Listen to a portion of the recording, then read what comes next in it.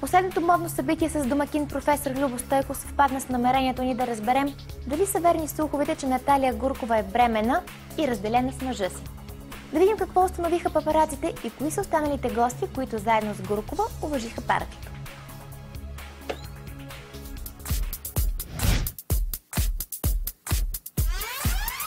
Идеята за любовта, страста и лятото, изразени чрез червения цвят, са в основата на последното модно събитие, организирано от Академията за мода и нейния председател професор Любомир Стойков. Именно той приветстваше пременените в червено гости на модното шоу.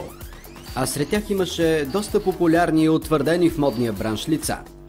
Албена Александрова беше заложила на рокля от финоплетиво. Наталия Гуркова пък се появи със съпруга си Джорджа Михалевич под ръка и с прилепнала дантела.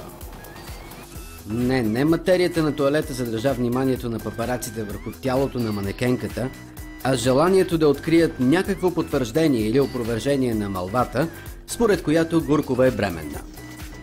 Ясно е, че първата част от твърденията за разпад на семейството и не са истина, а по-детелното глеждане в красивото тяло и плоско коремче на Наталия опровергава и версията, че моделката е бременна от друг мъж. Усмихнатата двойка позира за снимка с професора и доказа, че поне за сега семейството им е непокътнато. Всъщност, желаящите за снимка с организатора на събитието се редяха на опашка, докато други, като Румяна Маринова, чакаха спектакъла в фоето на хотела. Деси Цонева не спираше да обикаля в търсене на звезда, която да интервюира.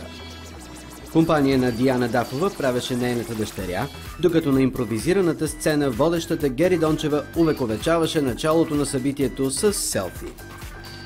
Роси Иванова, Куини Алис и Маги Бадър тази вечер бяха в ролята не на гости, а на участнички в ревютата.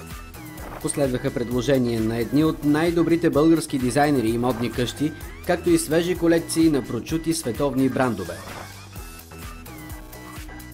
В папараци обаче следват още новини, събития и разкрития от света на известните ни сънародници –